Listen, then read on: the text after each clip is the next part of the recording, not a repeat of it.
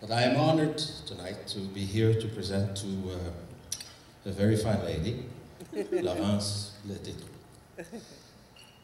Âgée de 16 ans, Laurence Blais Tétreault est une cavalière junior et une très bonne en dressage.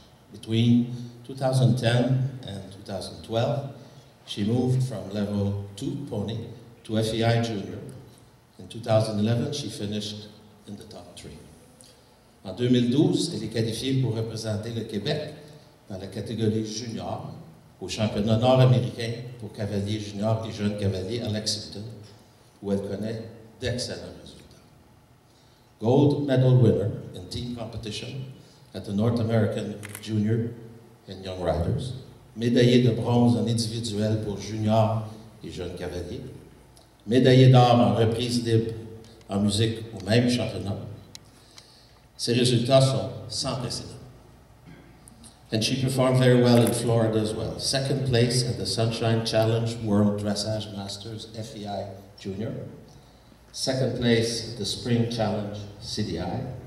Fourth place at Wellington Dressage Classic. And second place at the IHS Champion Cup CD13. Laurence poursuit ses études tout en s'adonnant à son sport. Elle est inscrite au programme sport études. She trains six days per week and is truly, fully dedicated to her sport. I can personally attest to that, being very close to the family and uh, my daughter training in the same uh, stable. Elle est très compétitive, mais a un très bon esprit sportif. Elle n'hésite pas à supporter les autres cavalières qui compétitionnent au même niveau qu'elle. Mesdames et messieurs, ladies veuillez accueillir la co-récipiendaire du prix de meilleure cavalière junior au Canada, the co-recipient of the Junior Equestrian uh, of the Year Award et la co-récipiendaire du trophée Gillian Wilson, Laurence Letétron.